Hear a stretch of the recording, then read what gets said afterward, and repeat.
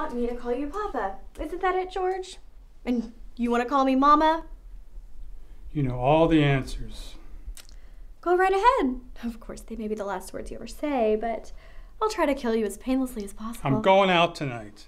I don't suppose there's anything for dinner. Why, of course there is, darling. There are all sorts of things.